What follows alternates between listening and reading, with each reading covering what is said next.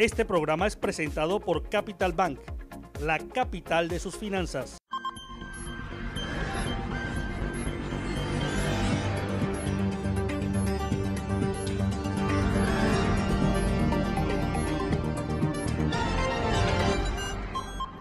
El Salvador apuesta a mejorar el intercambio comercial con Panamá con la apertura de su oficina comercial el Instituto Técnico Superior del Este abrirá sus puertas en 2018 con una matrícula de 2.500 estudiantes. Conozcamos los detalles de la 34 edición de Expo Comer. Asociación de Hoteleros busca nuevas opciones para enfrentar la baja ocupación de habitaciones. La multinacional Canon apuesta a la realidad virtual y desarrollo de equipos médicos. Grupo Convivienda entregó soluciones habitacionales durante el año pasado por el orden de los 900 millones de dólares. Esto y más durante la próxima media hora aquí en Noticias AN Panamá. Bienvenidos amigos como cada semana a su programa Noticias AN Panamá. Hoy nos encontramos en el restaurante La Valentina, en calle 67 y vía Israel. Soy Neisy Alfú de la Espriella y desde aquí le invito a que nos acompañe la próxima media hora. Iniciamos nuestro programa del día de hoy con una nota sobre la apertura de una oficina comercial de la República del Salvador en nuestro país. Con esto se busca incrementar el intercambio comercial entre ambas naciones. Las autoridades salvadoreñas anunciaron la apertura de su decimosegunda oficina de consejería comercial a nivel mundial en esta ocasión en Panamá. Francisco Fonseca, embajador de El Salvador en Panamá, ofreció detalles del intercambio comercial que esperan mejorar con la apertura de esta oficina. Esa oficina es una iniciativa multiministerial de El Salvador y busca este, convertirse en un interlocutor del, empresario y de la empresa salvadoreña y en el lugar de donde está ubicada, en este caso en Panamá, ser también interlocutor del empresario panameño y de los que, empresarios extranjeros que tienen su capital en el área eh, centroamericana.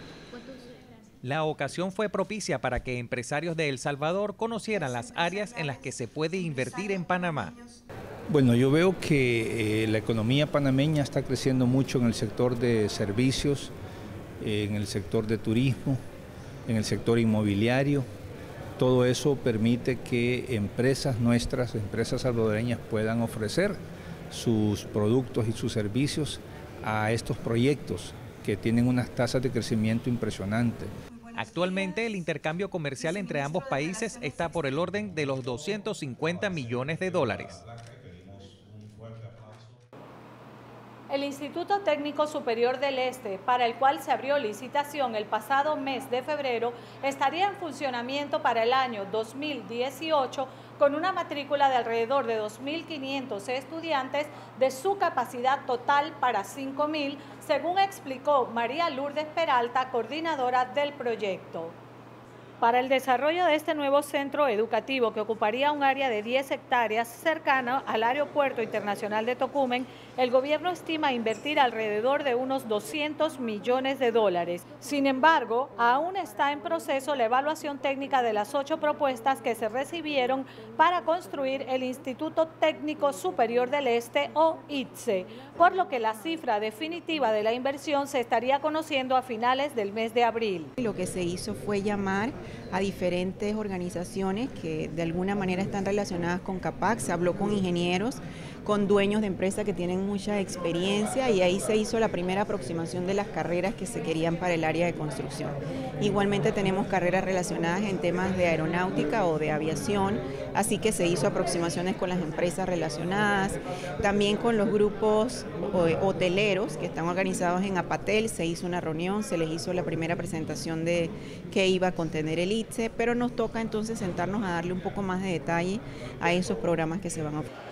El instituto estará dividido en ocho departamentos que son construcción, industria, aeroespacial, finanzas, logística, lengua, hospitalidad y turismo. Para el desarrollo de los contenidos a impartir a los estudiantes, la coordinadora del ITSE señaló que se ha invitado a participar a la empresa privada. Puso de ejemplo cinco programas que están vinculados al área de la construcción. Como cada año, cientos de empresas representando a 35 países se dieron cita la semana pasada en Expo Comer, la exposición organizada por la Cámara de Comercio e Industrias de Panamá. Novedosas ofertas se vieron durante los cinco días del evento. La feria comercial más importante de Panamá realizó su 34 edición, concentrando en más de 17 mil metros cuadrados del centro de convenciones de Atlapa a más de 700 expositores, quienes ofrecieron desde terroríficas máscaras provenientes de México hasta curiosos dispositivos para el cuidado e higiene corporal. Por su parte, el embajador mexicano destacó la participación de los empresarios de su país en al menos 25 ediciones de Expo Comer.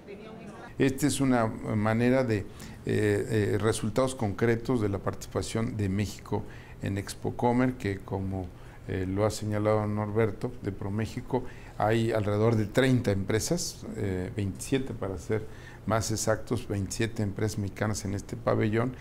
Cifras preliminares de la Cámara de Comercio, Industrias y Agricultura de Panamá indicaron transacciones por el orden de 131 millones de dólares, además de generar cerca de 1.400 contactos en la rueda de negocios realizada en el marco de esta feria comercial. Bueno, nosotros exportábamos desde Brasil hace 17 años. Eh, ahora estamos buscando, uh, empecemos por el final. Ahora estamos buscando más cerca de nosotros también mercados, como por ejemplo Panamá, que es un, gran mercado para nosotros, es un hub para, para toda el América. Es momento de nuestra primera pausa del día de hoy. Al regresar tendremos más informaciones. Usted no se vaya.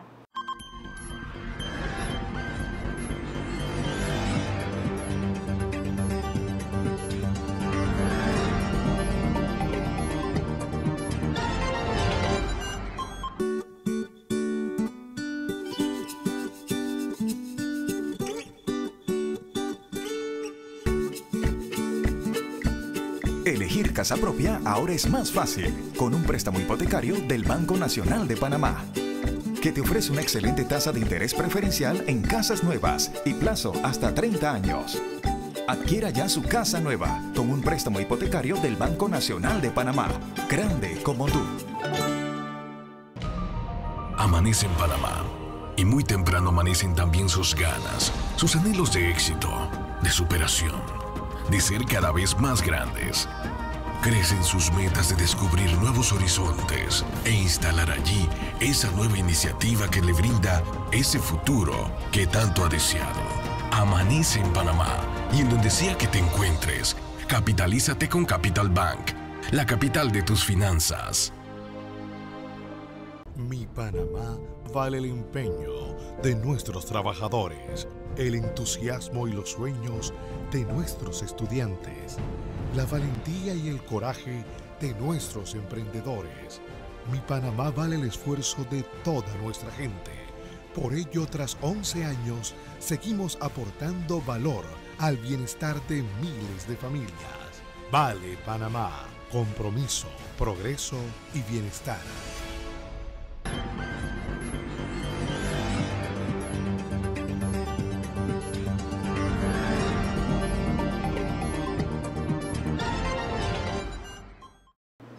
Estamos de vuelta. Aprovecho para invitarles a visitar nuestro sitio web anpanamá.com. Allí podrá encontrar estas y otras informaciones del ámbito financiero y económico de nuestro país. También podrá suscribirse a nuestro sistema de newsletter y recibirá cada mañana un compendio de las notas más importantes de cada fecha. Continuamos con nuestras informaciones y ahora nos vamos al sector turismo.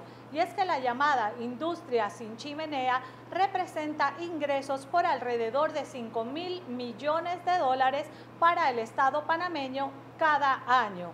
Sin embargo, uno de sus sectores más importantes, la hotelería, se ha visto afectada recientemente por la tendencia a la baja que mantiene la ocupación.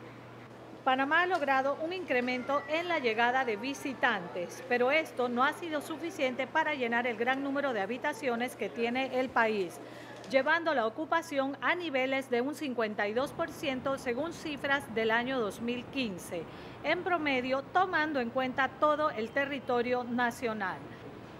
La situación tiene preocupados a inversionistas y dueños de hoteles, quienes admiten que han tenido que disminuir el número de sus colaboradores y tomado otras medidas para hacerle frente a la situación.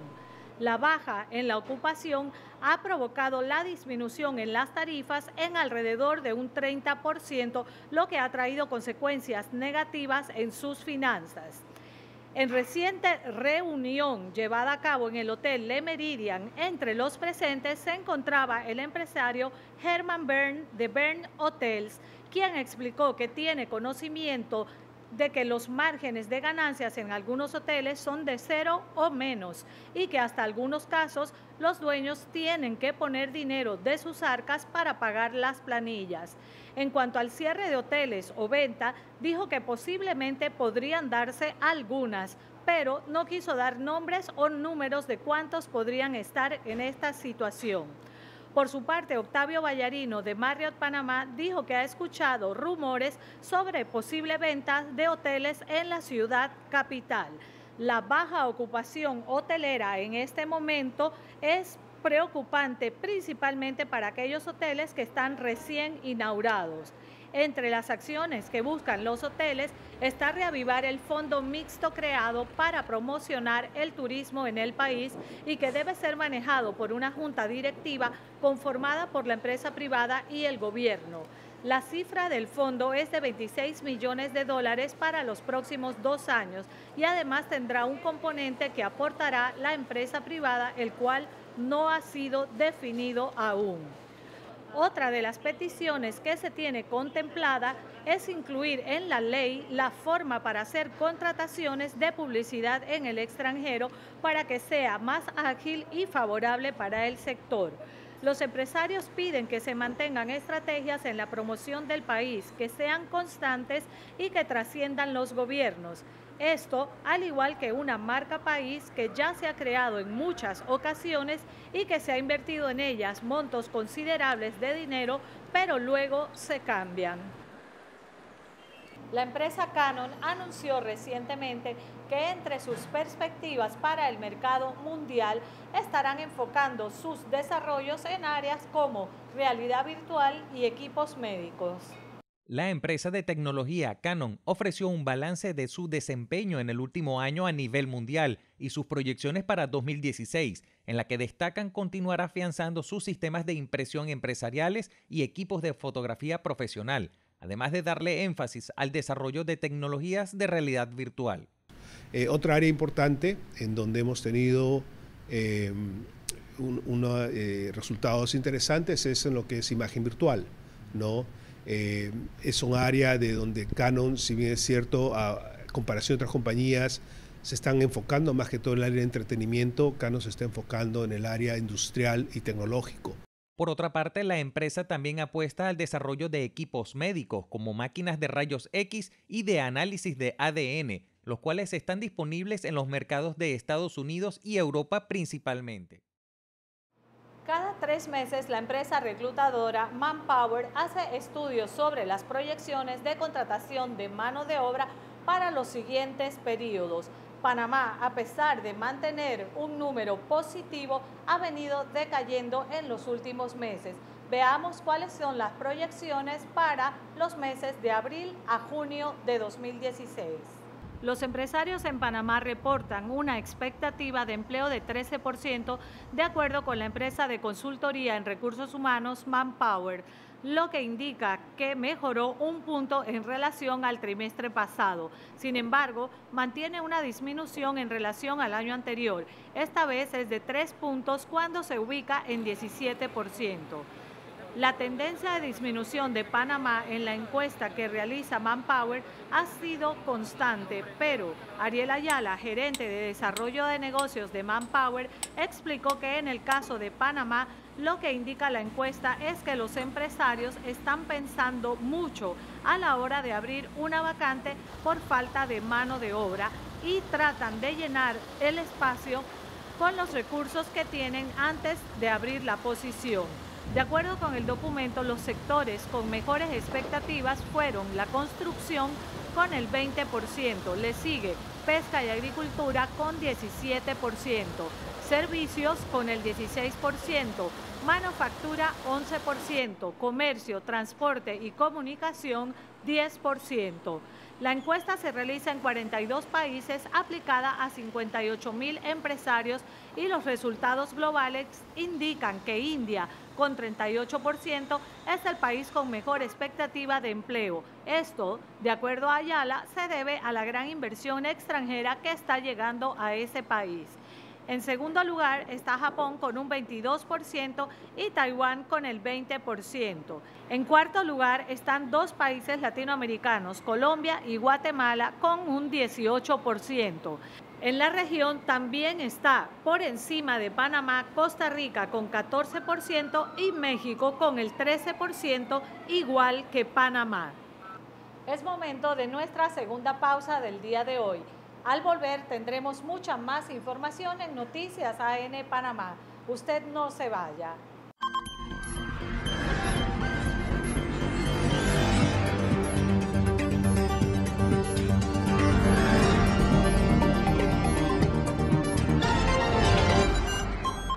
Panamá vale el empeño de nuestros trabajadores, el entusiasmo y los sueños de nuestros estudiantes la valentía y el coraje de nuestros emprendedores.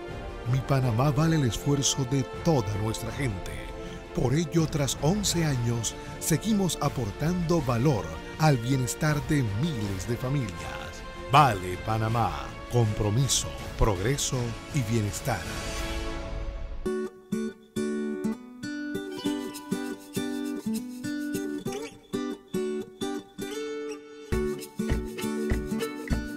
Elegir casa propia ahora es más fácil con un préstamo hipotecario del Banco Nacional de Panamá, que te ofrece una excelente tasa de interés preferencial en casas nuevas y plazo hasta 30 años. Adquiera ya su casa nueva con un préstamo hipotecario del Banco Nacional de Panamá, grande como tú. Amanece en Panamá y muy temprano amanecen también sus ganas, sus anhelos de éxito, de superación, de ser cada vez más grandes. Crecen sus metas de descubrir nuevos horizontes e instalar allí esa nueva iniciativa que le brinda ese futuro que tanto ha deseado. Amanece en Panamá y en donde sea que te encuentres, capitalízate con Capital Bank, la capital de tus finanzas.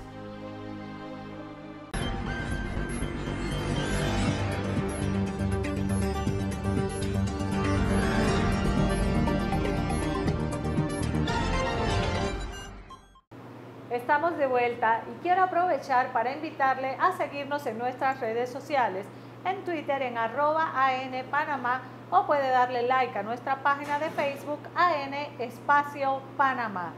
Continuamos desde el restaurante La Valentina en calle 67 San Francisco y vía Israel. Aprovecho para invitarles a disfrutar de sus happy hours de lunes a viernes de 5 de la tarde a 8 de la noche. Degusta también su delicioso menú de comida española. El restaurante La Valentina cuenta con diferentes salones para reuniones de negocio o para celebrar cualquier tipo de festejos. Cuenta también con una preciosa terraza. Y continuamos. Tenemos que recientemente se llevó a cabo en Panamá una reunión de hombres de negocios e inversionistas organizada por la revista Latin Finance. En ella estuvo presente Agencia de Noticias Panamá y conversó con dos grandes hombres de negocios de nuestro país, Alejandro Poma de Grupo Poma del Salvador y el señor Stanley Mota de Grupo Bahía. Veamos los detalles.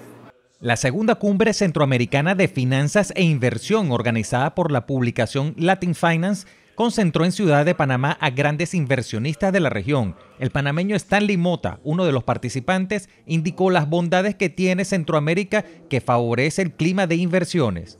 Yo creo que lo, que nosotros necesitamos hacer es un poquito lo que también dije en el panel, un poquito de lo público-privado.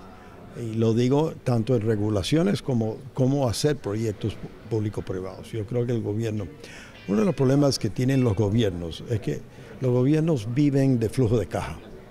Eh, la empresa privada no, la empresa privada vive de un balance de situación, de activos y pasivos y además un flujo de caja.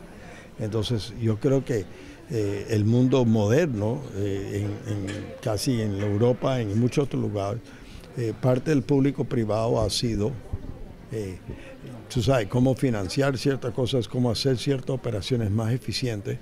Por otra parte, Fernando Poma, director del consorcio salvadoreño Grupo Poma, ofreció su perspectiva y enfatizó que la región centroamericana afronta el desafío de mejorar la institucionalidad en cada uno de los países. Bueno, la región realmente em, está compuesta de varios países y cada país es distinto, ¿verdad? Es eh, bien difícil generalizar. La parte norte de Centroamérica está pasando por un periodo más complicado que la parte sur. Em, pero sí tenemos algunas cosas positivas, ¿verdad? No tenemos grandes devaluaciones de la moneda, em, tenemos tasas de intereses bastante bajos y todavía hay mercado para hacer, para hacer negocios buenos. Em, una cosa que tenemos que enfocar muchísimo es el tema de mantener la predictibilidad, o sea, la certeza. Em, tenemos que asegurar que el inversionista pueda predecir cómo su inversión va a estar no a uno o dos años, sino a 10, 20, 30 años. Y para eso necesitamos eh, instituciones fuertes, despartidizadas, necesitamos seguridad jurídica, eh, seguridad ciudadana. Em, y necesitamos realmente democracias consolidadas, democracias irreversibles. El Consejo Nacional de Promotores de Vivienda con Vivienda anunció en conferencia de prensa los resultados para el año 2015. En estos se refleja un crecimiento, sin embargo, estuvieron por debajo de lo proyectado a principio del año 2015. La cantidad de viviendas entregadas en el 2015 por el grupo Convivienda sumaron 900 millones de dólares en Panamá. El informe presentado ante representantes de los medios de comunicación y del sector de la construcción, a pesar de que indican que las cifras son mayores a lo alcanzado en 2014, estas fueron tres puntos porcentuales por debajo de las proyecciones que habían preparado a principios de 2015.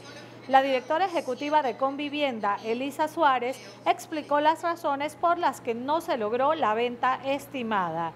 Bueno, definitivamente eh, tuvimos un año bueno, no podemos decir que, no fue así. Eh, logramos incluso construir casas en el rango de 40 mil balboas que hacía tiempo pues no, lo podíamos hacer.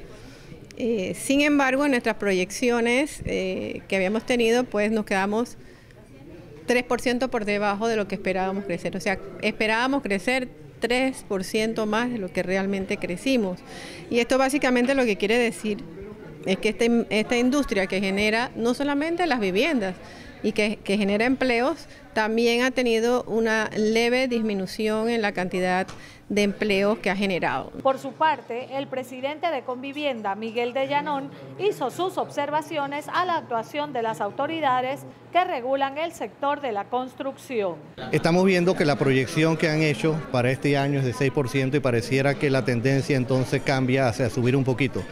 Tenemos que esperar para ver qué va a pasar. Uno de los factores más importantes de ese crecimiento en el 2016 va a ser la ampliación del canal. El cierre o, la, la inauguración de la ampliación del canal que se debe dar para mediados de año.